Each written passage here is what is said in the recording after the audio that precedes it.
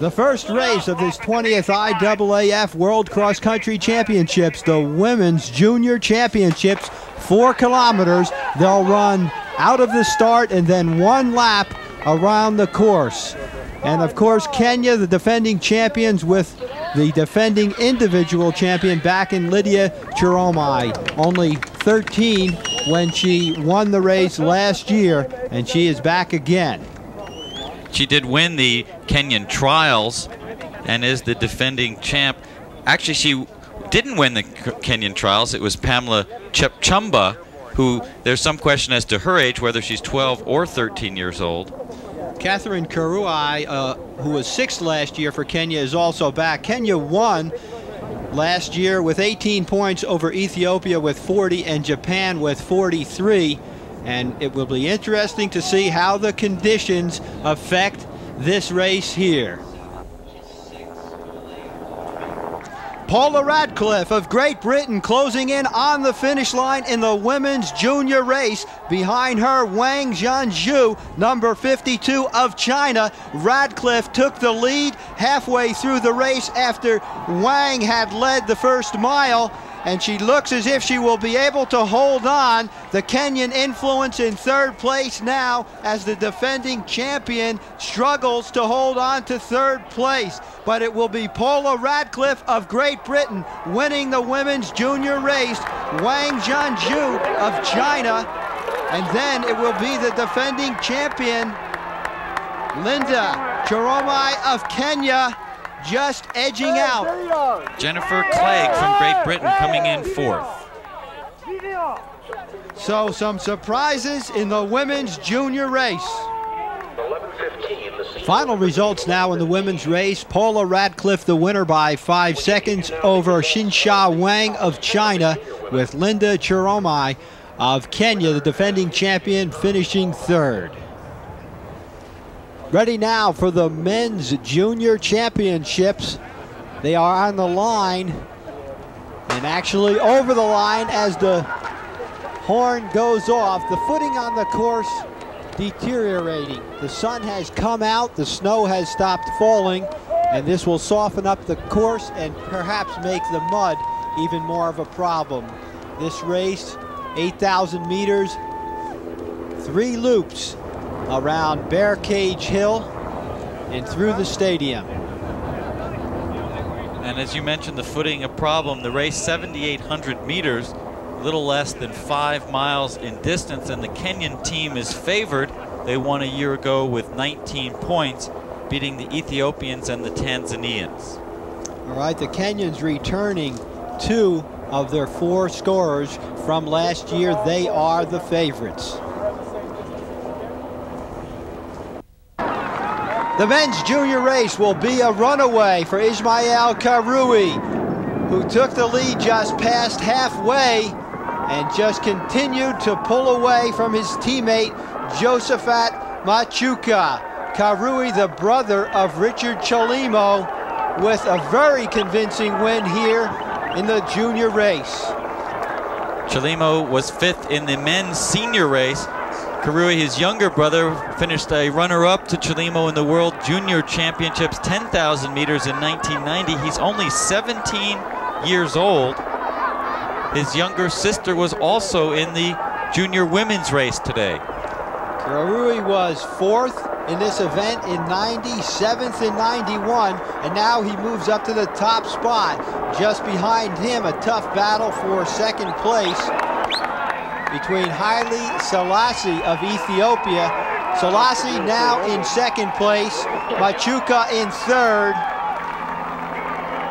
But the winner will be Ismail Kirui of Kenya, an easy victor.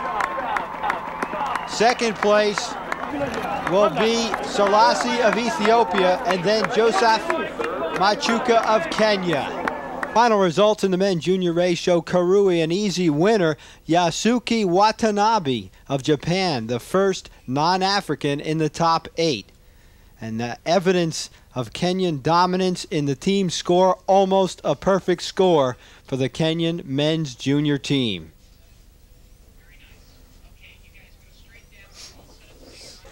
They are entering the starting gates for the senior women 6,000 meter World Cross Country Championships here. And Lynn Jennings, the two time defending champion, getting in her final strides on what will be a snow covered course here in Franklin Park in Boston. She will be challenged by a number of runners, but perhaps foremost in her mind is Scotland's Liz McColgan, who is the hottest runner on the circuit right now. Jennings with a lot of pressure because Liz McColgan has, in the last nine months, won the New York City Marathon, set a world indoor record for 5,000 meters, as well as a world half marathon record on the roads in Japan and McColgan was third in this race last year, four months after giving birth. So she is back for redemption. They will both be challenged by strong teams from Ethiopia, led by Lucia Yishak and Derartu Tulu. The Kenyan team also very strong. They tied Ethiopia last year at 36 points apiece. Jane Ngotho and Susan Sirma, their top runners. And they are off for this 6,000 meter race, which will consist of one start loop and then one loop around Boston's Franklin Park, two multiple loops around the course. And Lynn Jennings knows that uh, this course favors her. She's run here since she was 14 years old, but with the snow covering it, she's not going to recognize it too well. Liz Jennings out quickly now. About 127 women in this pack as they head for the paths. And the weather should play a major factor in the outcome of this race. It's about 1 degree Celsius, 33 degrees Fahrenheit. The wind 10 to 15 miles an hour. And it is cold. The snow has not melted very much the footing has got to be atrocious out there. Just the choice of footwear would have been difficult for many of these competitors as we see the weather conditions. And what do you wear on this sort of surface? Some of the Kenyan women had originally thought of running barefoot. They obviously had to scramble and get spikes. A lot of the other athletes had to obtain longer spikes to pierce the snow but you didn't know when they, they didn't know when they arrived this morning whether they would have icy conditions, whether the snow would have melted. It has remained hard and hard packed. Right now, Lynn Jennings up there in the front pack. Susan Sirma of Kenya is right behind her. And then you see the pack stretched out. And this is going to be a real test. The past two years, the courses have been flat. Here we will see some hills. We'll see bad footing. We'll see uh, finishing straight into a biting wind. Well, you see that Lynn Jennings has fallen into fourth place now, and it's going to be interesting to see her strategy. When talking with her coach, John Babington, he felt an aggressive race was the best way for Lynn Jennings to run the race. She did go out aggressively, but has now started to run a little more conservatively. Well, somewhat poetically, the leader is Martha Ernstdóttir of Iceland. Lynn, Liz McColgan does not appear to be in the top five, and we would have thought that she would want a fast pace and would be out quickly. So McColgan not in the top pack.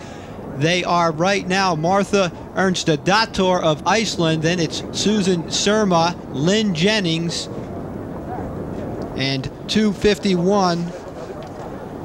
Helen Chepngeno. Interesting to see now that Jennings has settled into the pace there. Is going to work with the others to try to continue a breakaway from the rest of the pack. You know, Craig, it looks as if she looked over her shoulder, didn't see uh, Liz McColgan, and perhaps wants to take this race early. She's won the race twice with two very different strategies. There goes Liz McColgan 164. Certainly got stuck in traffic, and it's going to be almost an impossible task for her to make this make it up to the front as they get to the narrow part of the course.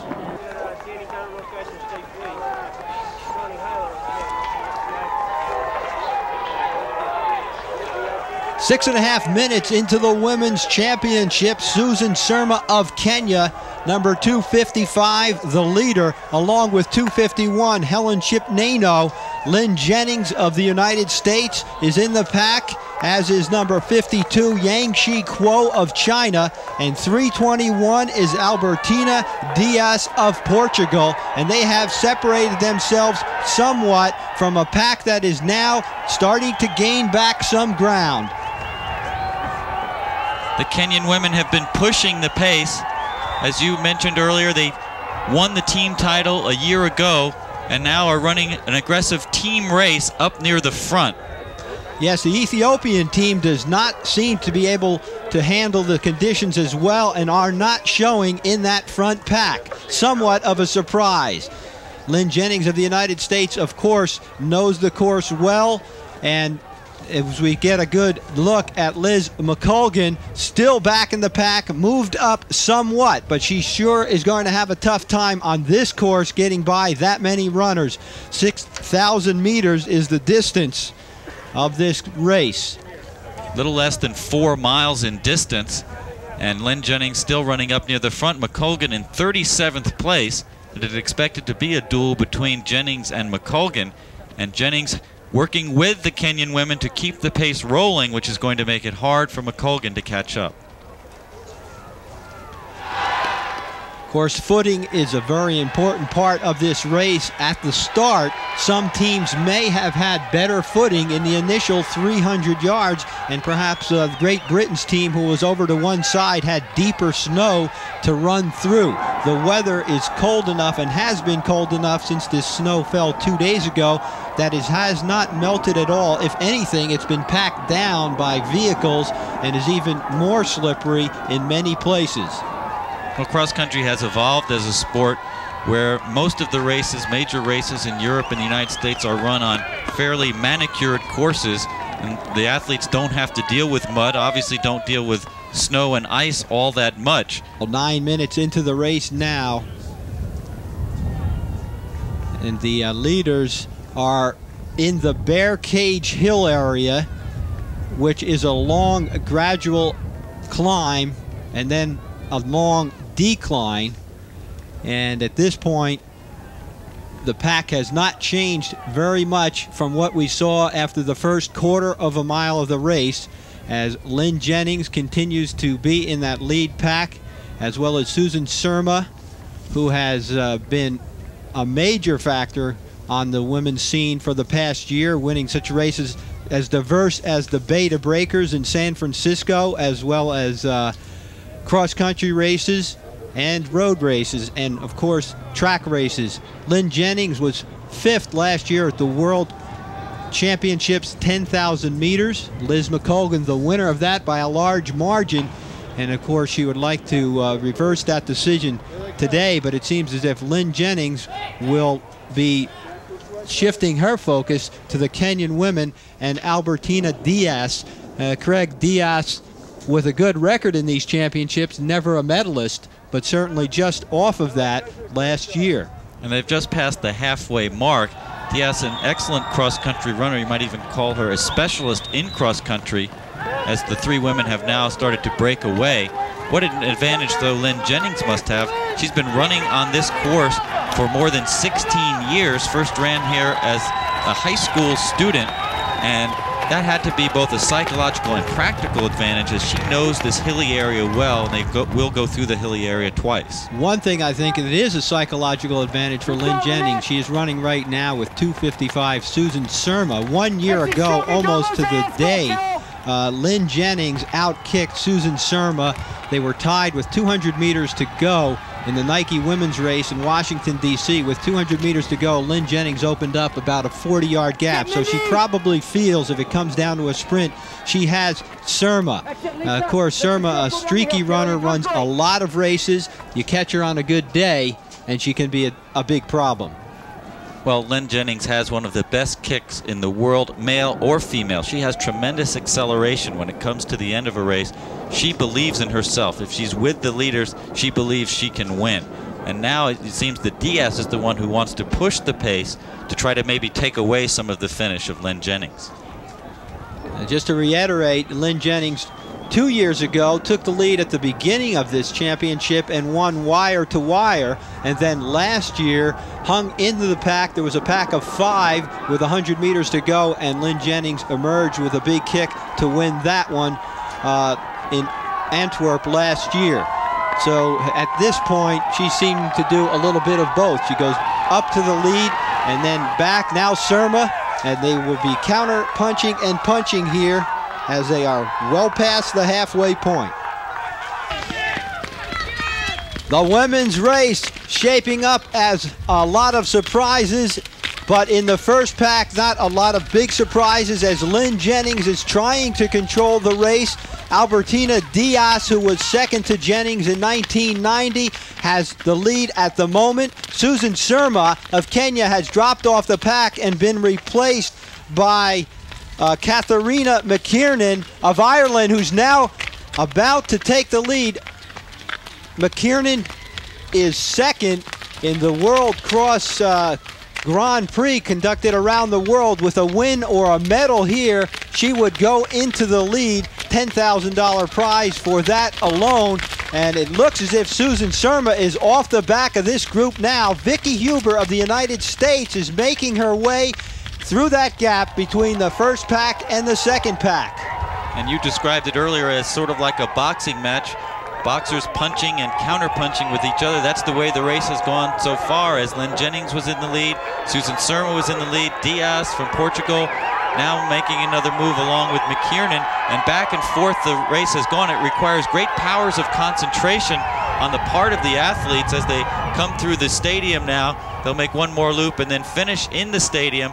takes great powers of concentration to maintain your focus and your race plan with this sort of back and forth racing. Well, with all that punching and counter punching, perhaps McKiernan, who was back a bit watching it, will have it at the end. There's Vicki Huber, 351 of the United States. This is a comeback race for her. She was sixth in the 3,000 meters in Seoul, but has been injured since then and slowly has climbed her way back up to world class form. I think the interesting story here, though, is McKiernan, as Liz McColgan, who had been expected to be with this group, is still lagging back in 34th place. McKiernan really had an excellent early season as she won cross-country events in Bolbec, France, and in Moult, Belgium, and that really helped get her off into good position in the World Cross Country Challenge Series. And now again, Dias goes to the lead, so the back and forth running continues. So we said at the opening of the show it would be a wild day. Two big surprises already. Liz McColgan only 34th at this time, and Vicki Huber now in fourth place from the United States. And a shot a minute ago showed a number of the U.S. runners. Sylvia Mosqueda back there. Perhaps there will be some surprises. Uh, today in the team championships. It did not look like the Ethiopians and the Kenyans were dominating this race as they have in the past.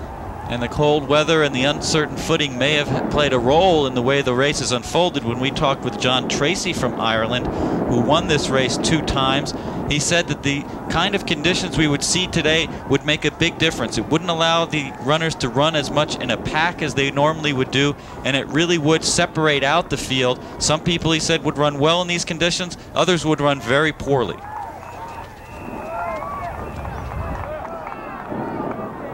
So now with less than four minutes to run, the leaders have to be thinking about their plan for the end game. And lurking off the back of that pack of three, Vicki Huber of the United States has to be an unknown factor uh, really at this point in the game. Lynn Jennings, I would say, has the strongest hand here, two-time defending champion with a good sprint. Uh, McKiernan, perhaps not well versed in running against Lynn Jennings, although I'm sure that her sprint reputation has preceded her.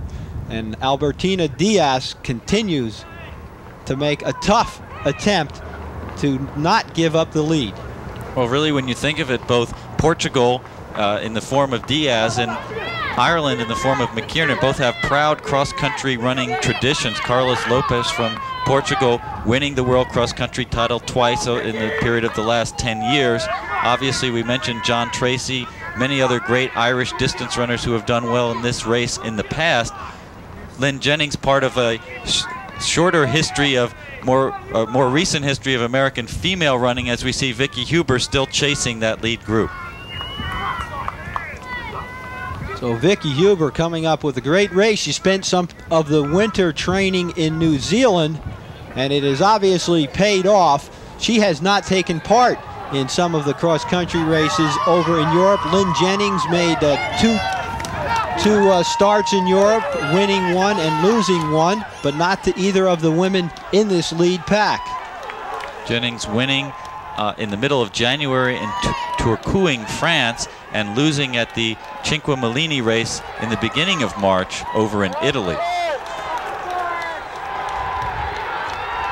So most of the people in this crowd well aware of the story of Lynn Jennings, who has handled the press uh, requests very well in the months preceding this championship. She only lives one hour from Boston, so it's been both a blessing and uh, a lot of pressure for her to have it this close to home as she goes for her third title.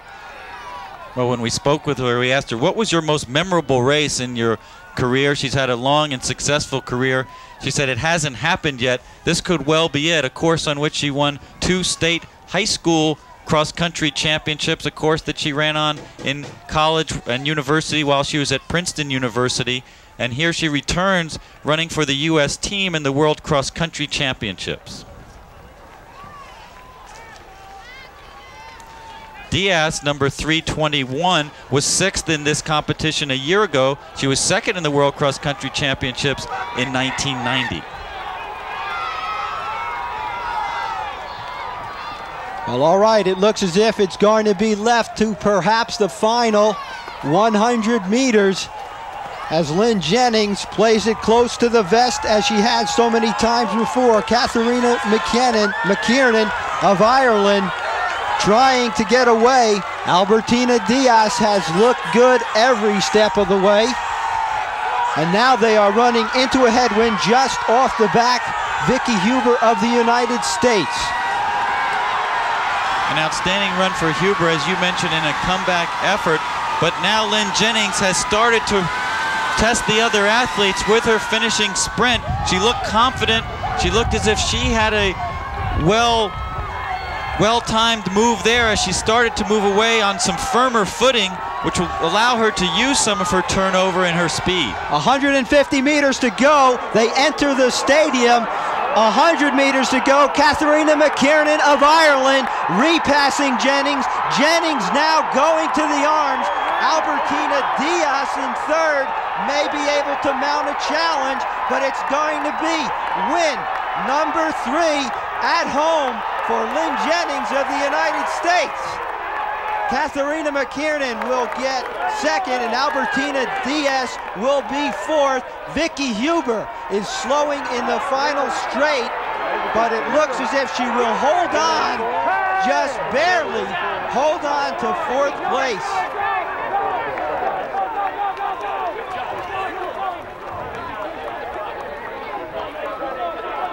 So the final results, Lynn Jennings of the United States with a two-second victory over Catherina McKiernan of Ireland. Albertina Dias of Portugal gets third. Vicki Huber of the United States fourth. In the team standings, Kenya, the winners with 47 points, the United States 77, and Ethiopia, despite the frigid temperatures, third with 96. It is beginning to snow as the men get into the starting gate for the men's 12,000 meter World Cross Country Championships. Cross country running, I think we should make the point. As you look at Khalid Skah of Morocco, the two-time defending champion, looking up at the sky because literally in the last few minutes, the snow has begun to come down. It was sunny when they started their warm-ups, but the cloud cover has come over. The man from Morocco who lives half the year in Norway says it won't be a problem for him. Perhaps it will be for the Kenyan team. Richard Chelimo, one of the top runners. John Ngugi, the Olympic 5,000 meter champion, and Ondoro Osoro, who leads the World Cross Grand Prix. And they are leaning as if the start is just moments away. The U.S. team led by Shannon Butler, 463, the American 10,000 meter champion on the track, as well as Todd Williams right next to him, 469. Williams won the U.S. championships in cross country here back in November.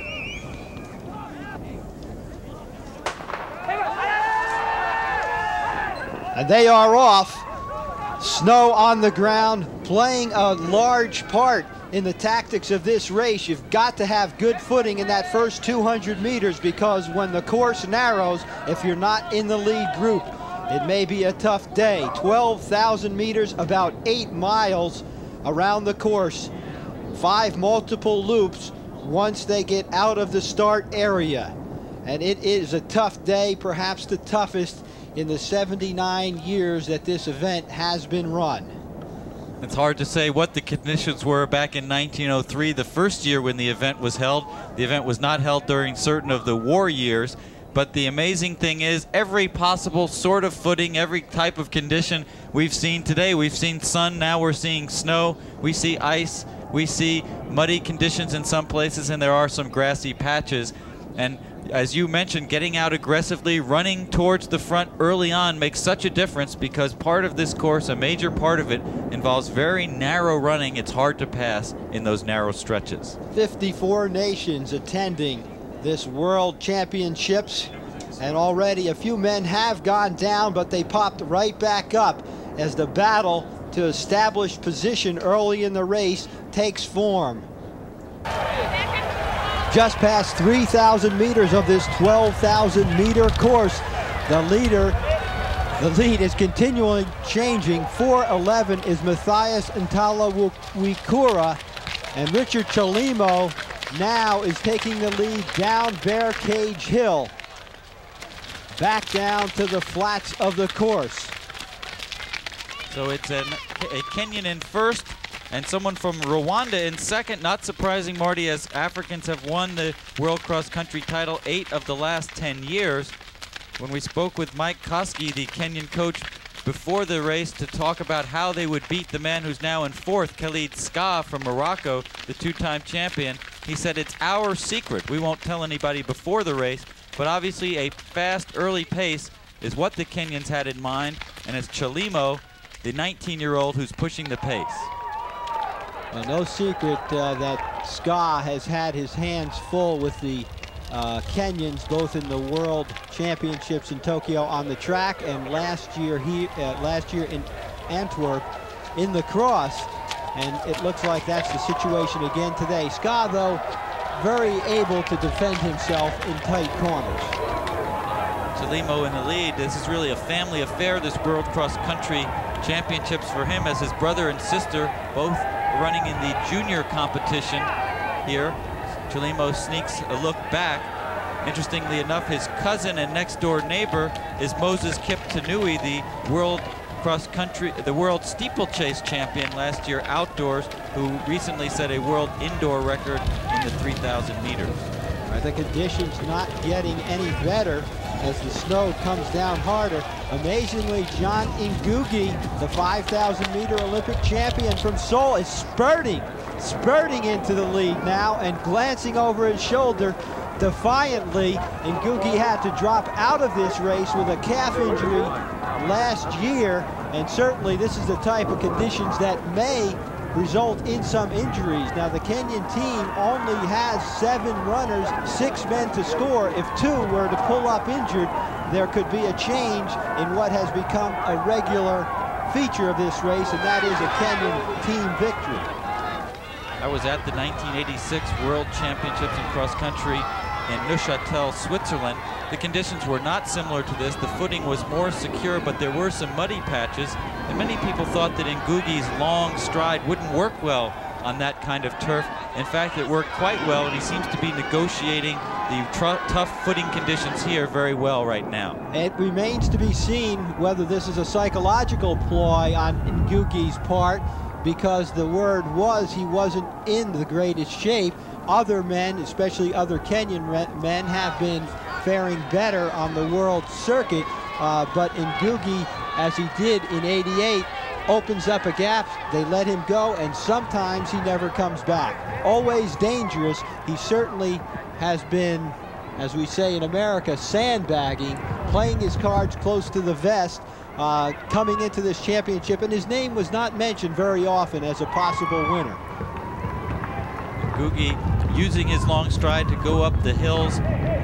The hilly parts of this course have to be negotiated some five times. So running hills is important in this race. A shot at the second pack. Khalid Skah trying to cover this move now, moving uh, ahead into second place, doing some of the work, breaking some of the uh, wind here himself, something he's not normally want to do, but he realizes that this is a dangerous move only 13 minutes into the race. Again, when we talked with some of the past winners, Grete Waitz, who's won the World Cross Country, John Treacy, they both said that they felt that the weather conditions, particularly the footing, would make it difficult for large packs to run together as they have over the last few years. Skah has won the race the last two years by bursting out of a pack in the last quarter mile of the race. This time, that's not going to be the situation mainly because it's harder to run as a group. There's some narrow parts of the course, the footing is unstable, and obviously because Ngugi has made this significant move early in the race. Well, the Kenyan strategy may not have been a team strategy. It may have been to have Ngugi. Well, they could have said, John Ngugi, we know you're not in great shape to win this race. If you go out fast, get Skah to go with you. The rest of the Kenyans hang back and come up and get him in the end. But right now, the first two men between them have the last six titles. Ngugi, the winner for four years before Skah won the last two. John and Ngugi, as you mentioned, the 1988 Olympic champion at 5,000 meters. He won that championship by a big breakaway early in the race that the other athletes did not cover. Threw in a lap around the Seoul track of about 60 seconds that opened up a large lead. In the last lap, many of the athletes came chasing after him, but it was too late. He's made a similar move here. He's put his cards on the table and, and decided to ask who would like to join me, and in this case, no one has thus far. Ngugi changing the nature of this race as he had a look back into the pack early in the race. Some of the men who were up front were Thierry Pantel of France. Uh, Pero Arco of Spain was up there. I saw Steve Moneghetti of Australia up in the top 15. Hamid Essebani of Morocco was up there. But since Ngugi has taken the lead, things have changed. Mentioned the tremendous strength of the Kenyan team in this particular championship over the last few years, but it hasn't only been here where they've been so dominant. A year ago, they did have five of the top six finishers in this race, but at the 1988 Olympic Olympics, Kenyan runners won the 800 meters, the 1500 meters, the 5,000 meters, and the 3,000 meter steeplechase. Last September in Tokyo for the World Championships, Kenyan runners succeeding at the 800 meters, the 5,000 and 10,000 meters, and again in the steeplechase.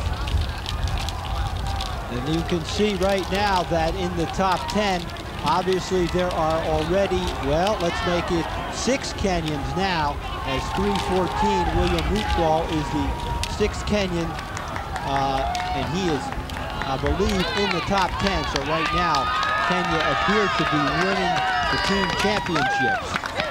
Morocco with Skah and Boutayeb, the underdog certainly in that battle. Ethiopia does not appear to be mounting the challenge that they have in years past. Here you get a look at the distance that Ngugi has already opened on the second pack. Looks like about 50 meters at this point. That's not an insurmountable distance, Marty, and I think the fact that the second group will be able to work together may allow them to move back up towards the front but Ngugi is the kind of runner who seems to run better when he is in the lead, when he is out ahead. He seems to feed off that feeling of being out front. Very difficult to assess how fast he is going because his stride and his turn is so long, his turnover so slow that it looks that he is out for a jog. It's interesting when you talk to the people who have worked with John Ngugi, both the Kenyan coaches and his agent uh, in London. They both say that the interesting thing about this this guy is that he remains a very proud runner, but a somewhat naive runner when it comes to the traditions of athletics, track and field, cross-country running, and the traditions of training. And Ngugi is an instinctive runner, a runner who likes to go out and train with distance running more than train on the track. Well, the camera lens makes it look a bit closer than it really is. It's about 60 meters back to Matthias Nawola Kura of Burundi, 411, who is leading that second pack, which includes the defending uh, from, I'm sorry, Matthias is from Rwanda. That second pack containing Khalid Skah, as well as three of the other Kenyan members of the team. But Ngugi is really making a big move here and making other people dance to his tune.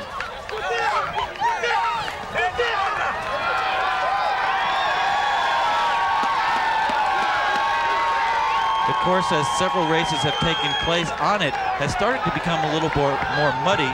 Earlier in the day, it was covered by packed snow and ice in places. Now, as more runners have gone over it with their long, up to one-inch spikes on the track, there's been more and more mud created, and that will change the footing.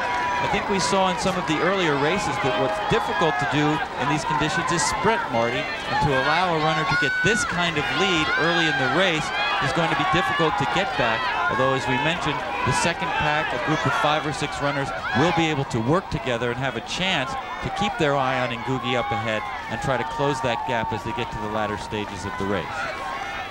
Well, we spoke about it earlier. I feel a fellow like Ngugi with a long stride, taking less steps over the course has an advantage over someone like Khalid Skah, who's very short with a very quick turnover. And as you mentioned, Skah is not going to be able to fly over the final half mile and reel people in uh, as easily as in the past. Just the fact of going around the corners on this ice, he could go down. So this race today really calls for an even pace, going out hard and running evenly. As we look at Ngugi again, making his way through perhaps the most difficult hill on the course, or undoubtedly the most difficult hill on the course, Bear Cage Hill. And I'm amazed that there is no slippage on the snow. As you mentioned, they're wearing spikes up to an inch long. They were in a panic for the past three days trying to find these types of spikes on short notice. But he appears to have no problem with the footing interesting discussion relating to the stride patterns because in fact you're right fewer strides wouldn't seem to make things more easy for the athlete but at the same time I think the shorter stride the efficient stride of someone like Khalid Skah will allow him to step around the equivalent of potholes the the dips in the course the patches of ice around whereas in Ngugi he should be a little bit more unsteady especially in patches like this the long downhills where he goes wide open with his stride well, you're right, a lower center of gravity. If it were an auto race, the lower center of gravity would be better on the turns, and there are a lot of sharp turns in the course. And there, in seconds, is an establishment of the lead that Ngugi has on this field. Bit of a surprise. That second group at this point does not contain uh, Ondoro Osoro, who is one of the Kenyans who has been running the best coming into this uh, championship. And he is out of the second pack. That's a bit of a surprise. The Ethiopians also not making much of a show at the front. John Ngugi, 29 years old, member of the Kikuyu tribe in Kenya and he one of several Kenyans who is listed as a civil servant working for the Kenya Armed Forces. Burst on the scene in 1986 when he won the Kenyan championship in cross country and then went on to Neuchâtel in, in Switzerland to win the World Cross Country Championships.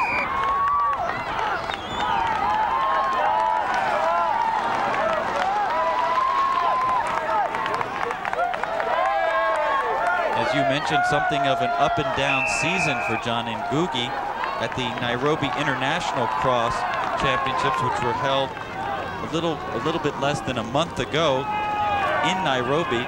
He was only sixth, five Kenyans beating him. So this has not been an outstanding season for John Ngugi.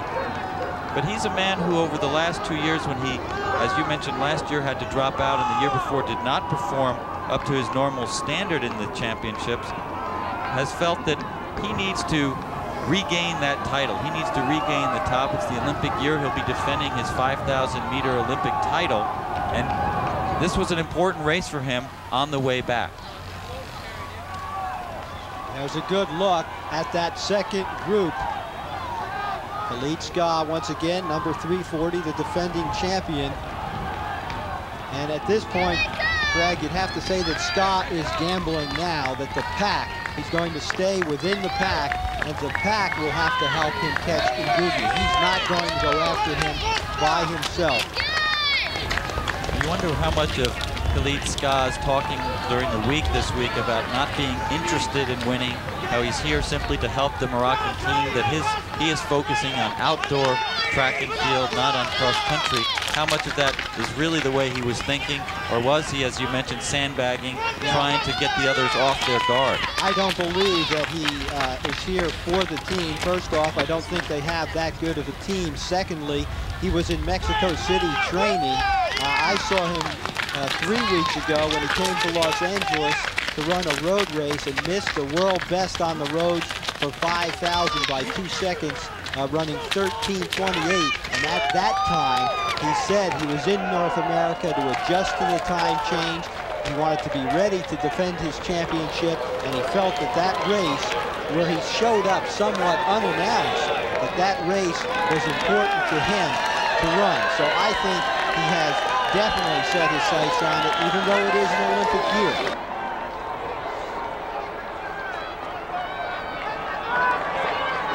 John Ngugi of Kenya, the Olympic champion at 5,000 meters from Seoul, winner of four straight titles in the World Cross Country Championships from 86 to 89, has taken the lead after about 3,000 meters and built up a margin of 60 meters over a second pack, which includes Khalid Skah, the two-time defending champion. And Ngugi can look back, but he can't see the pack at this point. And Marty, I think the fact that the course twists and turns makes it difficult for the others to maintain a feeling of contact with Ngugi. And Ngugi, a very bold move that he made to break away, but as he now heads back towards the hilly parts of the course, he can take advantage of that. He can put in spurts that will increase his lead. The other's never quite certain how far ahead he is. It makes it difficult for them to work together to try to close the margin. It is cold, it is windy, and it is snowing. And at because of that, Khalid Skah, who tried to go with Ngugi, decided he best drop back in the pack and seek shelter. At this point, Skah has fallen out of that second pack, uh, which is three Kenyans and an Ethiopian. 29 is Steve Moneghetti of Australian, who Australia, who has moved his way up, but it appears that Khalid Skah is moving back and not up. The Kenyan team almost assured here of a team victory. Six men count in the team scoring. Lowest score wins. And in that second pack, Ondoro Osoro. Also, uh, Richard Chelimo is leading Chelimo. the second group at the moment. Chelimo second at the World Championships in the 10,000 meters, a former World Junior champion. And he led this race early on, seemed to be anxious to push the pace before Ngugi took the lead and ran away from the others. Fita Bayisa of Ethiopia, the only man really breaking up the top five Kenyans at this point. And Ngugi with a bold move, as is his trademark. Same tactic that win, won for him in Seoul. And I think what he always has going for him when he uses his breakaway tactic is in the weeks and sometimes months before the race, he's not running well, so everyone lets him go. And Ngugi starting to lap some of the slower runners and his long loping stride just doesn't look as if it would be very effective in cross country. In fact, it doesn't always look so effective in track. but Ngugi has taken to cross country. This is the event that he won four times in the 1980s, 86 through 89, and now has seems to have returned in the 1990s to the top. Almost the exact same lead each time he's come through the stadium on the last three passes, and you'll see that five of the top six men are from Kenya. The sixth is Fita Bayisa of Ethiopia. He leads the World Cross Challenge Series, where he's won four races, so he has the maximum number of points. He's been content to let others set the pace and then have a very fast finish in those challenges. He was only third in the junior race a year ago. He's only 19.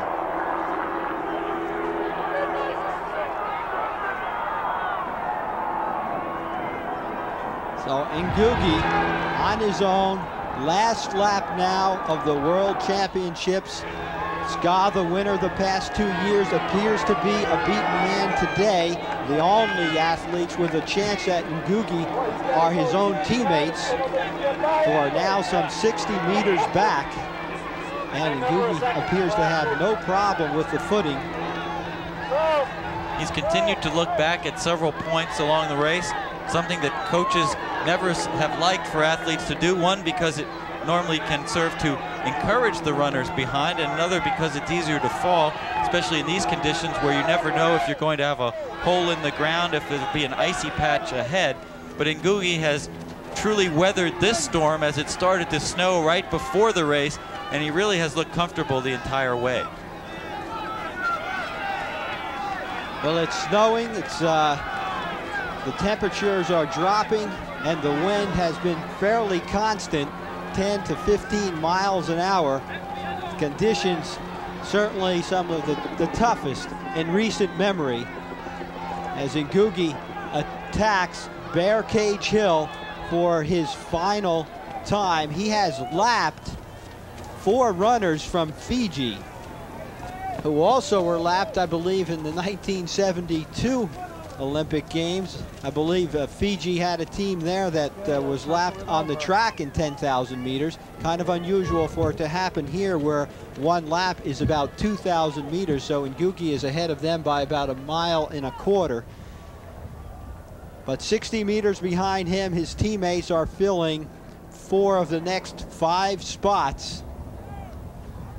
As you get a shot of the runners from Fiji who have got to be amazed at this weather coming from one of the most moderate climates in the world, as does John Ngugi. You have to give credit to the Kenyan athletes who were in a panic a few days ago to try and find warm enough clothes just to get out here and warm up. But once they took the sweats off, obviously the conditions were put out of their mind and the race was put into the forefront. Well, this is an important sport in Kenya. A lot of national pride involved for the Kenyans.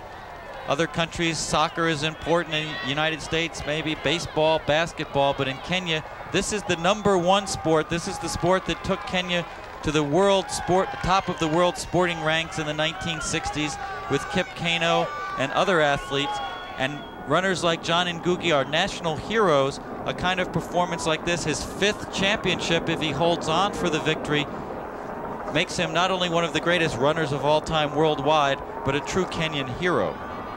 Now, there have been men who have won this championship five times, but not many who were also uh, Olympic champions. Gaston Roelants of Belgium would have been a five-time winner and also an Olympic champion in the 3,000 meter steeplechase. But Ngugi will become a legendary athlete in this sport.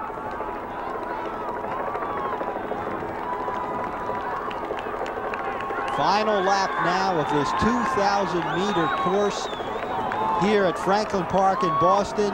$350,000 was spent to make this a cross-country course worthy of the World Championships, although they've been running here for over 80 years in high school, college, and open competition.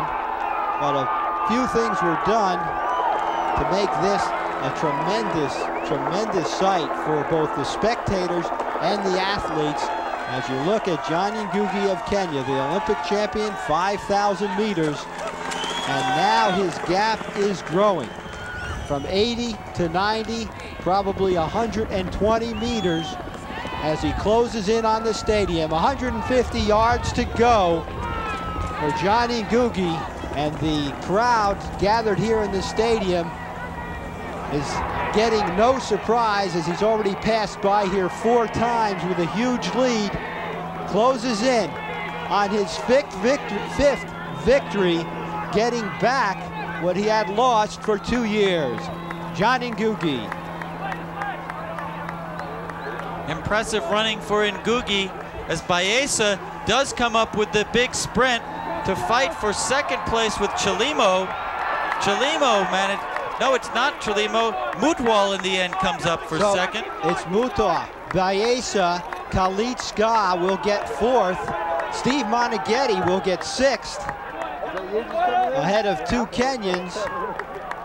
So the top 10 not quite dominated by Kenya and Ethiopia as it has been in the past few years. Final results for the men. Johnny Ngugi, a convincing winner over his teammate William Mutwol. Fita Bayisa third and the defending champion of the past two years, Khalid Skah, will get fourth. In the men's team championships, Kenya, the winners with one of the lowest scores ever in the history of the event.